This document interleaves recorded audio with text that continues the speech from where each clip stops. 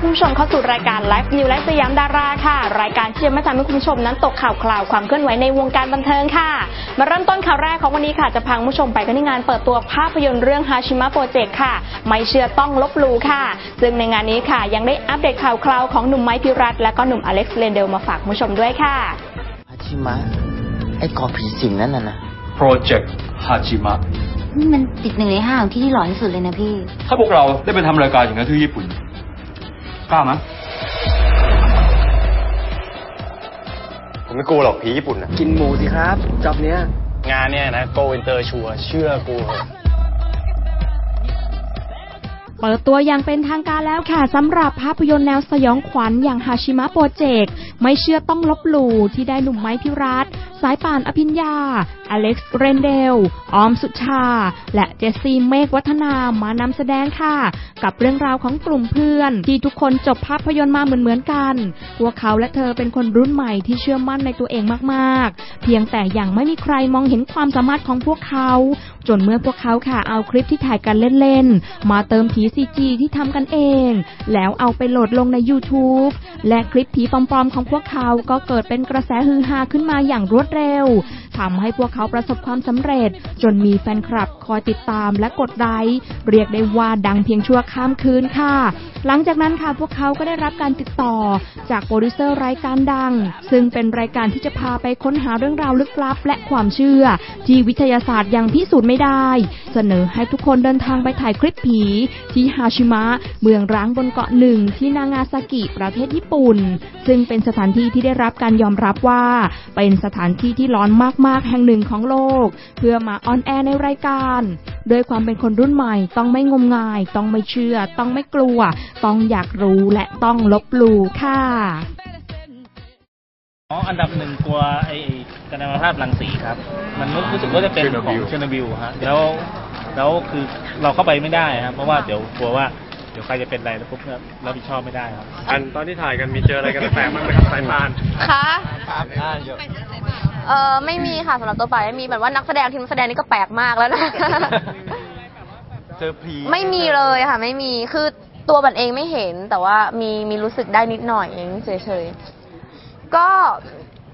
เหมือนกับว่ามีหายใจไม่ออก ปกติแล้วคือปันปันเป็นคนที่แบบเวลาเจออะไรแปลกๆอย่างเงี้ยค่ะปันจะหายใจไม่ออกใช่ปันเป็นคนมีเซนส์ใช่ไหมคะ มีมี location หนึ่งคือที่โรงหนังอะค่ะปันรู้สึกว่าเหมือนกินข้าวเท่าไหร่ก็ไม่อิ่มหายใจแล้วก็เหมือนกับมีคนมาแย่งหายใจ คือมันหายใจแล้วมันไม่ลงท้องมันไม่ทั่วท้องอะค่ะมันเหนื่อยอะไรอย่างเงี้ยค่ะ ตลอดแค่นั้นเอง ครับก็ฝากหนังเรื่องฮาชิมะโปรเจกต์ไม่เชื่อต้องลบหลู่ด้วยครับ คือมันเป็นหนังที่ที่เราถ่ายทำกันอย่างสนุกมาก แล้วทั้งผู้กำกับทั้งทีมงานทั้งนักแสดงทุกคนก็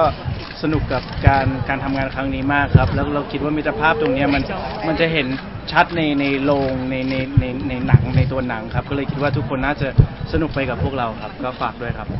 โดยงานนี้ค่ะหนุ่มไม้ยังได้เปิดใจว่าหลังจากได้ร่วมงานกับสาวสายป่านอภิญญาแล้ว รู้สึกประทับใจมากๆ ที่ฝ่ายหญิงนั้นดูแลเทคแคร์เป็นอย่างดีทำให้สนิทสนมกันมากขึ้น แต่ที่บอกว่าชอบนั้นเป็นเพียงแค่การแซวกันขำๆเท่านั้นค่ะ ครับชอบสายพานมากครับ ตอนตอนถ่ายทำภาพยนตร์เรื่องฮาชิมะโปรเจกต์ด้วยกันเนี่ยคือเขาเขาค่อนข้าง take care ไหมครับคือเขาเป็นคน take care ทุกคนนะฮะแต่ว่า ไมค์ก็จะแบบเฮ้ยไม่เคยเจอคนแบบในกอง take care เราขนาดนี้แล้วเขาทำทุกอย่าง สายป่านเรารักสายป่านนะไม่ครับก็เป็นการขอกันเล่นๆแบบตลกๆ คือพวกเราเนี่ยในในกลุ่มแก๊งฮาชิมะโปรเจกต์เนี่ยคือสนิทกันมาก เพราะว่าไปอยู่ญี่ปุ่นมาด้วยกัน แล้วก็คือมันมันเกิดเรื่องราวมากมายนู่นนั่นนี่ขึ้นแล้วมันก็มันเหมือนสนิทกันนะฮะแล้วคือมันเป็นแค่การ แซวกันเล่นๆ โดยเมื่อสาวสายป่านค่ะ ได้มาร่วมวงให้สัมภาษณ์คู่ ก็เจอมุกจีบกวนๆของหนุ่มไม้ก็เล่นเอาเขินเหมือนกันค่ะ ที่รักจ๊ะไม่ครับก็เราก็สนิทกันอย่างที่บอกเป็นเพื่อนกัน แล้วก็คือเหมือนกับ เราไปเราไปถ่ายเอิ่มกันที่เกาะฮาจิมะเนี่ย ก็ ก็เลยทำให้เราสนิทกันเนาะแล้วสายป่านก็เป็นคนที่แบบดูแลเทคแคร์เพื่อนๆอะไรอย่างเงี้ยฮะป่านครับทำไมถึงดูแลไม้เป็นพิเศษครับในไม่ได้เป็นพิเศษครับผมบอกว่าดูแลเพื่อน ก็ดูแลทุกคนค่ะดูแลทุกครับคนแต่ว่าอย่างอเล็กซ์อย่างเงี้ยก็สนิทกันแบบสนิทกันแบบเป็นเพื่อนสนิทใช่ไหมคะอย่างเจสซี่เนี่ยก็เป็นน้องชาย แต่ว่าไม้เนี่ยเป็นเพื่อนใหม่ที่ที่ตัวเขาเองก็มีความเป็นสุภาพบุรุษค่อนข้างเยอะมากๆพี่ๆหลายๆคนก็อาจจะรู้ว่าไม้เขาจะเทคแคร์ผู้หญิงอะไรอย่างเงี้ยจริง ๆ แล้วก็คือเขาเป็นคนน่ารักคือหน้าตาเขาก็จิ้มลิ้มอยู่แล้วอย่างเงี้ยค่ะ ไม่รอไหมคะไม่รอเชียร์ไหมขึ้นลุ้นขึ้นไหมโอ้ยรอจนแก่ก็รอไปเถอะครับไม่อันนี้คือแอบหยอดอ่าไม่หรอกครับก็เป็นเพื่อนกันเป็นเพื่อนกันแล้วคือ ด้วยความที่เจอเพื่อนใหม่แล้วแบบเจอเพื่อนดีอะไรเงี้ยแล้วมันทำงานด้วยกันมันก็เลยเหมือนกับว่าสนิทกันมากครับผม ค่ะ แปลว่าเหมือนรับไว้พิจารณา เออ ไม่รู้ตายแล้วเขินนะ เพิ่งจะควงกับสาวเต้ยจรินพรหวานใจไปถ่ายแบบด้วยกันที่ประเทศฝรั่งเศส ก็ทำเอาหนุ่มอเล็กซ์เลนเดลบอกเลยค่ะว่า เป็นงานที่เขินมากๆ เพราะต้องส่งสายตาหวานให้กับสาวเต้ยนั่นเอง โดยหนุ่มอเล็กซ์ยังบอกกับว่า ค่าตัวก็ไม่ได้แพงอะไรมากมาย โดยถือว่าเป็นการไปพักผ่อนในตัว ส่วนงานอีเวนต์คู่นั้นเจ้าตัวก็บอกค่ะว่าคงจะไม่รับค่ะ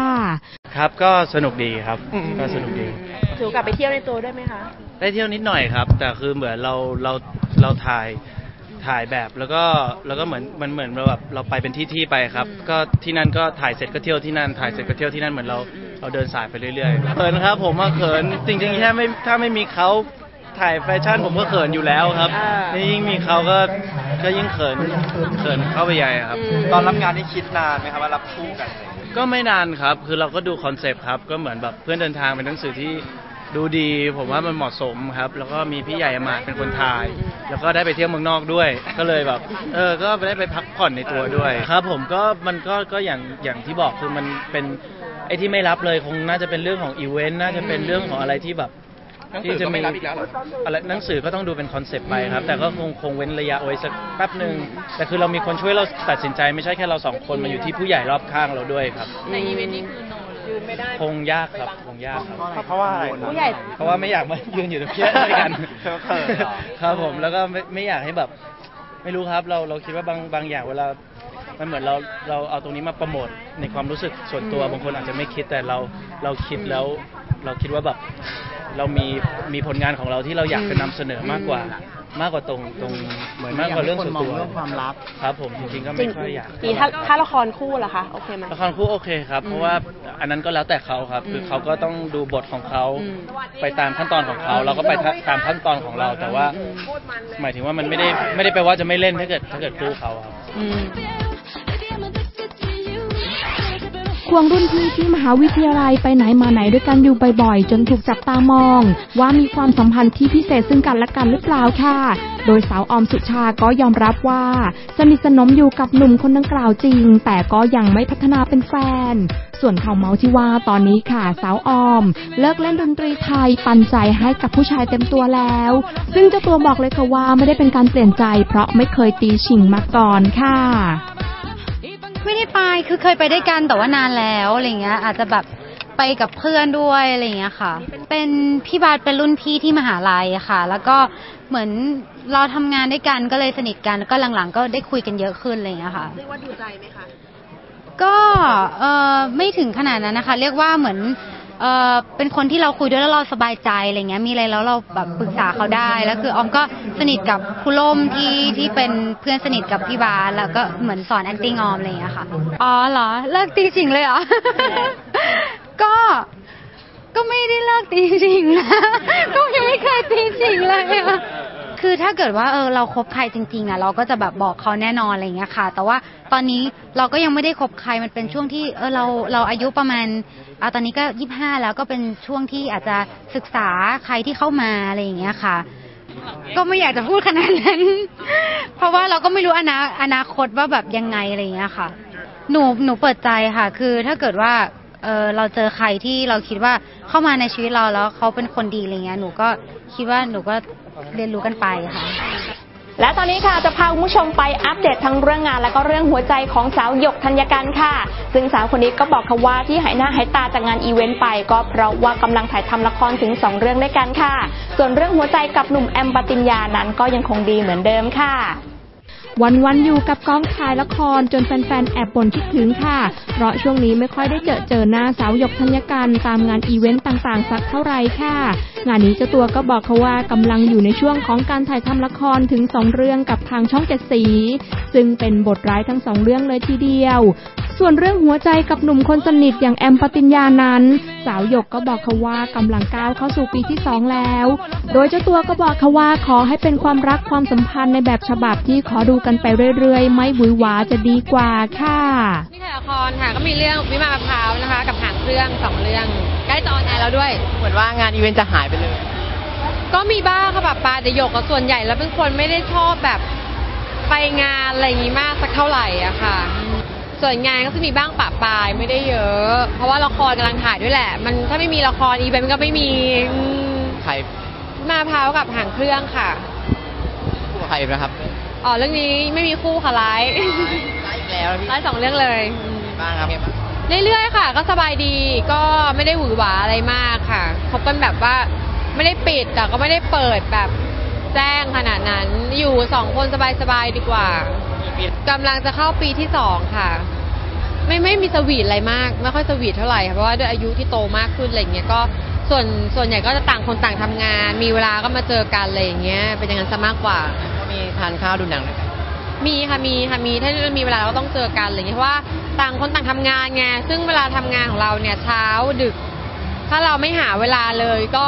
ก็คงไม่ได้ เพราะฉะนั้นเราก็ต้องมาแชร์เวลากันอะไรอย่างเงี้ยค่ะ งานที่ทั้งคู่แบบนี้มีเชื่อใจไม่ให้ทำมันอันนี้มันก็ต้องเชื่อใจกันนะเพราะว่าเราอยู่วงการทั้งคู่ แต่ว่าเราก็รู้ในเรื่องของระบบการทำงานอยู่แล้วไหมคะเพราะฉะนั้นเรื่องเรื่องนั้นก็คงตัดปัญหาไปอะไรอย่างเงี้ยที่เหลือก็อยู่ที่ความซื่อสัตย์ต่อตัวเองแค่นั้นเองอืมทั้งพ่อแม่ทั้งสองฝ่ายก็ไม่เร่งอะไรใช่ไหมครับอะไรนะคะ พ่อแม่ทั้งสองฝ่ายก็ไม่เร่งใช่ไหมครับ ไม่ค่ะ ต้องขอทำงานก่อนไม่ได้รีบอะไรค่ะ จากที่ก่อนหน้านี้ค่ะ ป่วยเป็นโรคเส้นเลือดในสมองแตกจนทำเอาหลายคนเป็นห่วงสำหรับนักแสดงรุ่นใหญ่อาเปียกที่ล่าสุดค่ะก็ได้เดินทางมาร่วมในงานดาราอวอร์ดที่เสถียรธรรมสถานค่ะ ซึ่งดารารุ่นใหญ่ก็ได้อัปเดตอาการให้ได้ฟังว่าตอนนี้แข็งแรงมากขึ้นแล้ว แต่ก็ยังไม่หายร้อยเปอร์เซ็นต์พร้อมทั้งยังบอกอยู่ด้วยค่ะว่าช่วงที่ผ่านมาได้รับกำลังใจดีมาก ทั้งจากครอบครัวคนรอบข้าง รวมถึงแฟนละครทุกคนที่คอยให้ความเป็นห่วงค่ะก็สุขภาพก็แข็งแรงขึ้นกว่าเดิมเยอะค่ะ แต่ว่าจะปัญหาก็คือ ร่างกายในส่วนขาหรือส่วนแขนบางส่วนเนี่ยมันยังไม่ไม่ปกติทั้งหมดอะค่ะยังมีอาการเกร็งอยู่บ้างเป็นบางครั้ง แล้วก็อาการชามันยังมีอยู่ค่ะตรงตรงนี้จะจะต้องใช้เวลาเห็นคุณหมอบอกว่ามันก็นานมากกว่า มันจะพัฒนากลับมาได้ร้อยเปอร์เซ็นซึ่งก็ไม่รู้ว่า จะร้อยเปอร์เซ็นหรือเปล่านะคะ มันก็เป็นไปตามวัยของเราด้วยค่ะอ๋อกายภาพนี่เราทำมาตั้งแต่ต้นแล้วค่ะ เพราะว่าเป็นหลักของเขาเลยนะคะสำหรับโรคโรคนี้นะคะ ต้องกายภาพ แล้วก็ต้องดูแลตัวเองให้ดี คือหมายความว่าต้องขยันหมั่นเพียรในการที่จะออกกำลังทำกายภาพนะคะ คือเราต้องไม่พูดง่าย ๆ ว่าต้องไม่สังกตายกับตัวเองหรือว่าชีวิตนะคะ ต้องต้องพัฒนาตัวเองอยู่เรื่อยๆอะค่ะ ก็พยายามอะค่ะ มันก็มีดีมั่งไม่ดีมั่ง